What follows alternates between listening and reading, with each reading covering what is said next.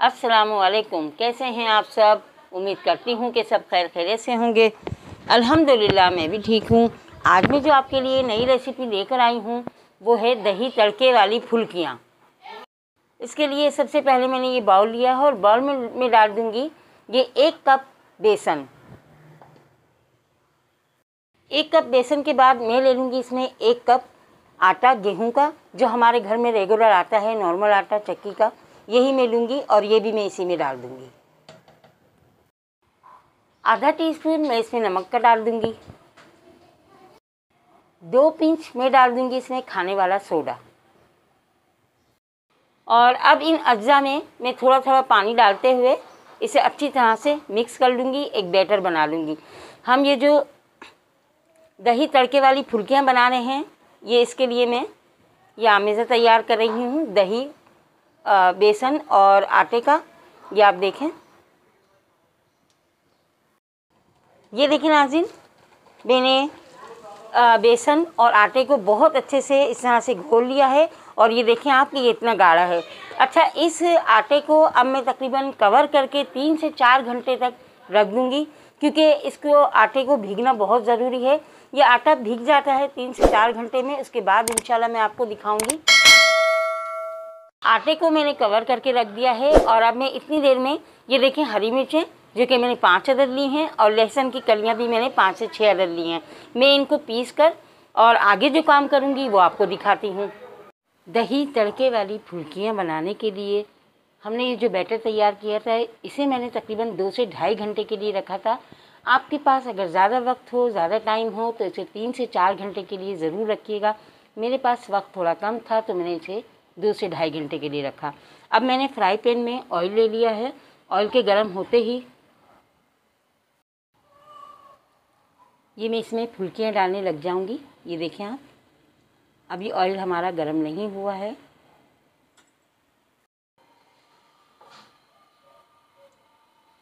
अच्छा मैं इनको कढ़ाई में नहीं बनाऊँगी। इसे फ्राई पैन में बनाऊँगी। इस तरह से फुल्कियाँ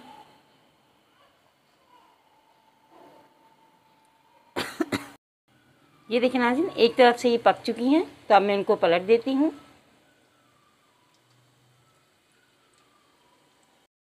ये देखें नाजिन, फुल्कियाँ हमारी तैयार हैं, और मैं इनको अब अलहदा प्लेट में निकाल लूँगी सारी फुल्कियाँ बनाने के बाद। मैं आपको बताऊँगी कि किस वक्त हमें पानी में डालना है इनको। इंशाल्लाह उसके बाद ये सारी करने के बाद मैं आपको दोबारा दिखाती हूँ। ये देखिए नाजिन अब मैं दही तैयार करूँगी उसके लिए मैंने बाउल लिया और बाउल में मैं सबसे पहले ये दही डालूँगी। ये देखें आप, तकरीबन मैं आधा किलो दही लूँगी इसमें और दही हमें गाढ़ा गाढ़ा ही रखना है इसमें, बिल्कुल पतला नहीं करना है। तकरीबन मैंने आधा किलो दही ले लिया है और अब मैं इसे फेंट लेती हूँ अच्छी तरह से।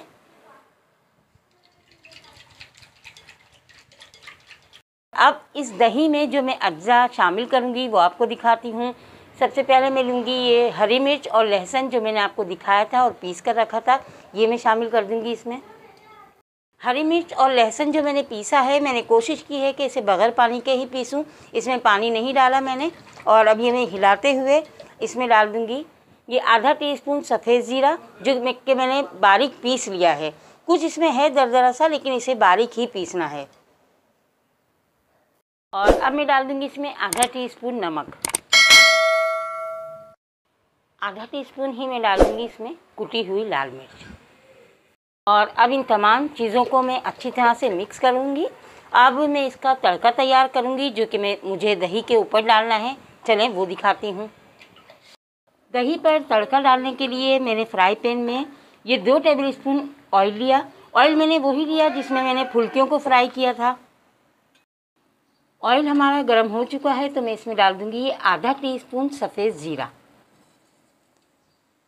और आधा टीस्पून ही मैं डाल दूँगी इसमें कुटी हुई लाल मिर्च का और इन दोनों को मैं थोड़ा सा पका लूँगी इसमें। और अब ये तड़का मैं उस दही पर डाल दूँगी।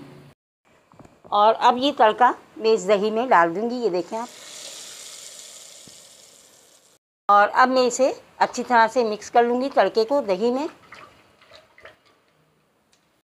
ये देखिए नाजिन हमारी फुल्कियाँ जो हमने तैयार की थी अब मैं इनको पानी में डिप करती हूँ।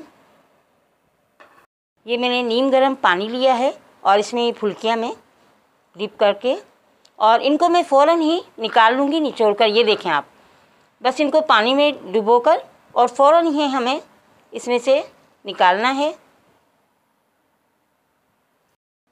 ये देखें नाजिन इस तरह से मुझे ये फुल्कियाँ बस फ़ौरन से ही निकाल कर और इस पर जमा देनी है।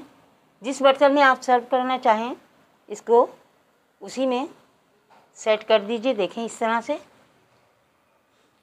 ये देखें नाजिन मैंने ये सारी फुल्कियाँ पानी से निचोड़ कर निकाल ली हैं और ये आप देखें कि सारा ऑयल इसमें ऊपर आ गया है, जो एक्स्ट्रा ऑयल था इसमें। अब मैं इस पर जो काम करती हूँ, वो दिखाती हूँ। और अब ये जो दही हमने तैयार किया है, ये मैं इस पर डाल दूँगी।